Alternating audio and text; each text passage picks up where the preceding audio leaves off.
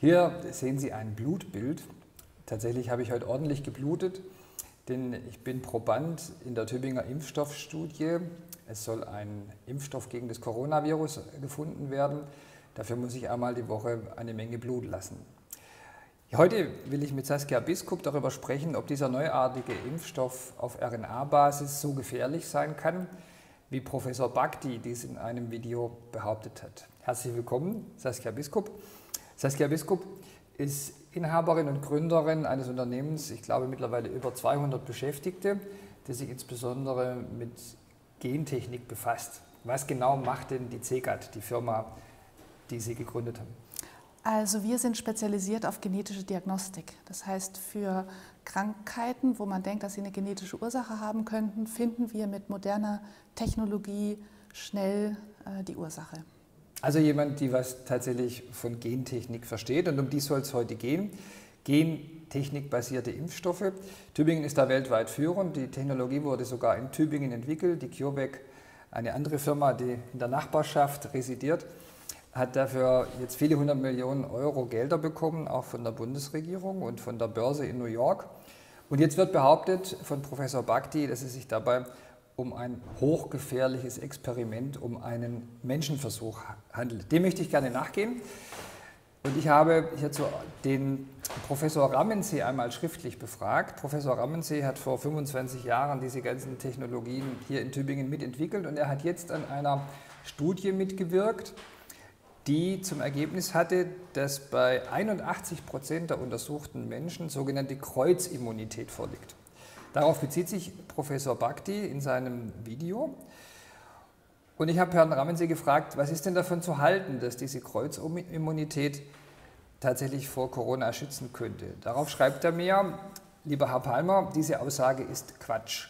Richtig ist, dass wir in 81 Prozent nicht infizierter Menschen T-Zellen finden, die kreuzreaktiv gegen eines der vielen Peptide sind, die wir getestet haben.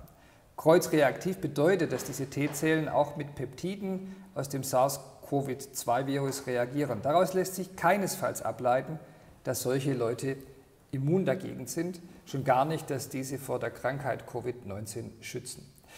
Glaube ich doch eine ganz wichtige Klarstellung derjenigen, die die Studie gemacht haben, auf die sich Professor Bhakti bezieht. Aber dann geht es ja weiter. Dann sagt Professor Bhakti, die T-Zellen, die da gefunden wurden von Tübinger Wissenschaftlern, diese T-Zellen diese Killerzellen, die Kreuzimmunität äh, würden dazu führen, dass Autoimmunerkrankungen zu befürchten seien. Er verwendet dafür das Bild einer Fackel und eines Sprengstoffes. Da wird also eine Fackel durch den RNA-Impfstoff in den Körper injiziert und dann explodiert der Sprengstoff, nämlich die T-Zellen, und es werden möglicherweise, so sagt er, reihenweise Gehirn- und Leberzellen von Menschen, die mit diesem Impfstoff traktiert wurden, getötet. Also muss ich jetzt befürchten, dass ich als Proband dieser Studie, der wahrscheinlich diesen Impfstoff in sich hat, dass ich jetzt massive Gehirn- und Leberschäden oder Herzzellentod erwarten sollte?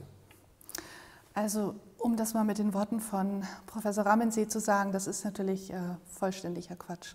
Also wenn man sich einmal mit dem Konzept befasst, also es geht ja darum, dass man versucht, das Immunsystem zu trainieren Oberflächenmarker des Virus zu erkennen und damit eben auch äh, das Virus zu bekämpfen. Und das, was man mit der Impfung letztendlich macht, ist ja, dass man über die RNA, das ist der Messenger letztendlich, der Virusbestandteile dann in den Körper bringt und damit letztendlich das Immunsystem trainiert. Das ist der Sinn der Impfung. Das ist natürlich ein faszinierendes Konzept, es ist höchst präzise und das, was da beschrieben ist, wird natürlich überhaupt nicht passieren, sondern das, was man erreichen möchte, ist, dass T-Zellen, also diese Immunzellen vorhanden sind und damit den Menschen, der geimpft ist, dann letztendlich schützen, falls eine Infektion stattfindet. Jetzt sagt aber Professor Bhakti, das sei ja noch nie am Menschen ausprobiert.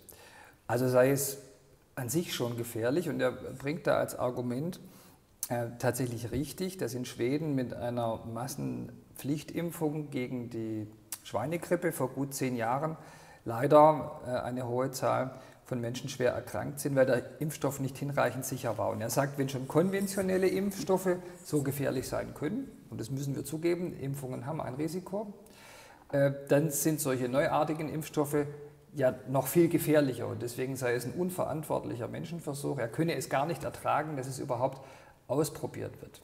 Was sagen Sie dazu? Das kann ich überhaupt nicht nachvollziehen, weil die neuen Technologien und insbesondere das, was jetzt auch von der Firma CureVac entwickelt wird, ist ja eine so faszinierende und präzise Methode, dass genau das ja gerade nicht zu befürchten ist, sondern man erwartet ja, dass die neuen Methoden viel effizienter und am liebsten, oder das ist auch das, was man vermutet, ohne Nebenwirkung das Immunsystem trainieren. Und außerdem stimmt es gar nicht, dass es nicht schon am Menschen angewendet wurde, weil die Firma CureVac hat ja eine lange Expertise im Bereich der Tumorvakzinierung. Das heißt, da wendet man ja RNA-basierte Impfstoffe, hat man auch in Studien schon angewendet. Das heißt, man hat schon eine hohe Sicherheit, dass dort überhaupt gar keine Nebenwirkungen auftreten, sondern dass ausschließlich die Wirkung letztendlich da ist. Dennoch werden ja auch die Phasen letztendlich gemacht, die notwendig sind, um auch die Sicherheit eines solchen Wirkstoffes auszutesten. Ich habe auch nichts gespürt und ich kenne einige andere Probanden. 180 sind es derzeit, die in Tübingen geimpft wurden. Nur ein kleiner Teil, 17 Prozent davon mit dem Placebo. Das heißt doch eine hohe Zahl von Menschen und ich kenne jetzt niemand und die Studienleitung sagt mir auch, es gäbe auch niemand, der irgendwelche gravierenden Nebenwirkungen bisher gespürt habe bei immerhin 180 Probanden. Trotzdem sagt Professor Bhakti, hier würde ein Menschenversuch durchgeführt. Millionen von Menschen sollen geimpft werden. Niemand wisse, wie der Impfstoff wirkt. Und dabei könnten Zehntausende schwer erkranken, 5000 Tote, sagt er wörtlich sein, allein in Deutschland zu befürchten. Was sagen Sie dazu? Ist das ein Menschenversuch, wenn wir jetzt neue Impfstoffe auf den Markt bringen? Ich denke, es ist völlig ungerechtfertigte Angstmache. Also ich glaube, es hat keine wissenschaftliche Grundlage. Also konzeptionell ist ja das Verständnis so, dass wir diese T-Zellen bekommen durch die Immunisierung, die letztendlich den Menschen schützen sollen. Das heißt, es wird wahrscheinlich so sein, wie man das auch schon vielen aus anderen Studien auch bei Tumor Vakzinierung auch erfahren hat, dass es dem Menschen überhaupt gar keine Nebenwirkungen gibt. Aber, und das wird ja bei dir gerade getestet, äh, dass die T-Zellen wirklich in dem Blut vorhanden sind, deswegen auch diese Blutentnahmen, um nachzuweisen, dass dieser Impfstoff dann letztendlich dazu geführt hat, dass dann auch eine Immunität vorliegt. Aber du merkst ja davon nichts, dir geht es gut und trotzdem äh, wird der Körper diese Immunzellen herstellen und dann letztendlich hoffentlich auch wirksam sein. Ich werde mich auch jetzt nicht absichtlich dem Coronavirus aussetzen, sondern bleibe weiter vorsichtig, weil ich halt nicht weiß, äh, ob ich immun bin. Aber soweit ich das verstanden habe, gibt es ja da noch eine Phase 3-Studie. Was passiert denn in der Phase 3 der Impfstofftestung? Ja, da wird man dann letztendlich auch die Wirksamkeit überprüfen. Das heißt, wenn jetzt jemand äh, diese T-Zellen ausgebildet hat, also die Zellen im Immunsystem, die vor dem Virus schützen sollen, dann wird es sicher auch passieren, dass ein solcher Mensch auch mal konfrontiert wird mit dem Virus, zum Beispiel in wo werden die Phase 3 Studien gemacht, äh, voraussichtlich auch in Teilen der Welt, wo eine hohe Durchseuchung im Brasilien, Moment auch stattfindet. Und dort wird man dann eben sehen, dass gerade wenn man über die Untersuchung des Blutes eben sieht, dass diese Immunzellen da sind und dann trotzdem nachweislich eine Infektion auch dann stattgefunden hat, dass dann eben keine Symptome auftreten oder diese Infektion dann einfach ganz glimpflich von, vonstatten geht. Das heißt, es kann nicht passieren, was Professor Bhakti sagt, dass auf der einen Seite viele Menschen sterben, weil man einen ungetesteten Impfstoff verwendet und gar nicht weiß, welche Risiken der beinhaltet. Und auf der anderen Seite steht überhaupt kein Risiko, ist ja sein zentrales Argument. Mit dem Impfstoff erreichen wir nichts, weil Covid-19 völlig ungefährlich ist. Jetzt weiß ich, äh, dass Saskia Biskup selber die Infektion durchgemacht hat. Wie war das? Ja, also ich habe äh, sehr, sehr großen Respekt vor der Erkrankung nach wie vor. Ich selber habe jetzt das Glück gehabt, dass ich sehr milde Symptome hatte. Ich wusste, dass ich Covid hatte. Das heißt, ich konnte mich auch in Quarantäne begeben und war auch drei Wochen in Quarantäne. Ich habe aber im engen Freundeskreis mitbekommen, dass es tödlich enden kann. Und äh, das war eben niemand, der ein, als Risikoperson gegolten hätte. Und insofern, glaube ich, müssen wir und das ist auch so gut und das ist auch toll, dass so viele Unternehmen weltweit, insbesondere jetzt auch die CureVac in Tübingen, da vorne mit dabei sind, diesen Impfstoff zu entwickeln, weil das wird die einzige Chance für uns sein, letztendlich langfristig auch äh, mit diesem Virus äh, zurechtzukommen. Äh, ich glaube, es heißt, glaube ich, so zwei Doktortitel in der Medizin, stimmt das? Ah, ein Dr. Reanat und ein Dr. Med. Also durchaus Expertise von dem Feld, über das wir reden. Eine Sekunde vor zwölf, Schlussfrage sagt Professor Bhakti, die ganze Welt ist dabei, mit nicht getesteten, hochgefährlichen, neuartigen RNA-Impfstoffen vielen, vielen Menschen schweren Schaden zuzufügen. Und er könne das nicht ertragen. Wie wirkt es auf jemand, der in diesem Feld täglich arbeitet, mit zwei Doktortiteln wirklich weiß, wovon sie spricht und selbst äh, Menschen kennt, die auch an solchen äh, Covid-Erkrankungen schon gestorben sind? Ich denke, das bin ja nicht nur ich, sondern wir haben in, in Tübingen und auch in Deutschland eine hohe Dichte an Wissenschaftlern, an Menschen, die sich intensiv mit dem Thema auseinandersetzen und auch, ähm, glaube ich, in der Lage sind äh, zu beurteilen, dass das äh, traurigerweise äh, völlig irrsinnig ist, sowas zu behaupten. Und ich, ich denke, dass wir Grund haben, optimistisch zu sein, dass wir mit der Technologie, die insbesondere auch die CureVac verwendet, einen sehr effizienten und vor allen Dingen Wirkstoff äh, bekommen, der ohne Nebenwirkungen äh, die Menschen schützen wird.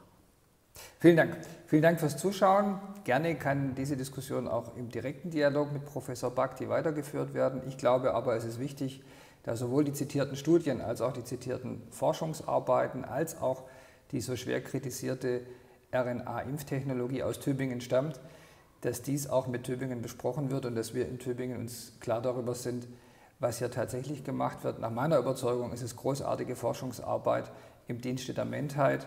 Und wenn es fünf oder eins vor zwölf ist, dann nach meiner Überzeugung vielleicht beim Klimawandel, aber sicher nicht, weil wir Impfstoffe entwickeln. Impfstoffe haben unser heutiges Leben überhaupt erst ermöglicht. Hätten wir nicht durch Impfstoffe die Pocken und manche andere Krankheit ausgerottet, dann wäre es gar nicht möglich, dass wir so gesund in unseren Städten leben, mit dieser Dichte an Menschen, wie wir sie kennen und es heute auch in Tübingen tun. Vielen Dank an Dr. Dr. Saskia Biskup für die Mitwirkung und nun bin ich gespannt auf eine rege Diskussion.